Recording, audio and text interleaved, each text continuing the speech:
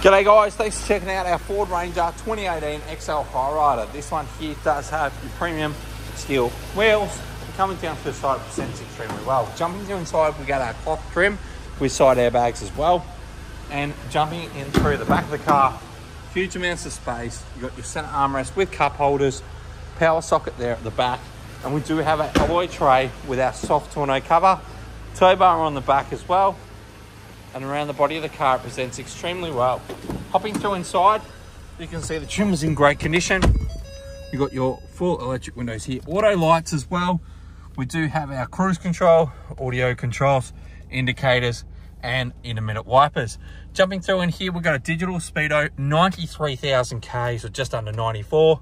We do have our screen through here, which is, does have your Bluetooth. And you also do get your climate control down through here as well. Aftermarket rear view uh, camera as well. And down through here, we've got an automatic transmission and so much more. We look forward to speaking to you soon.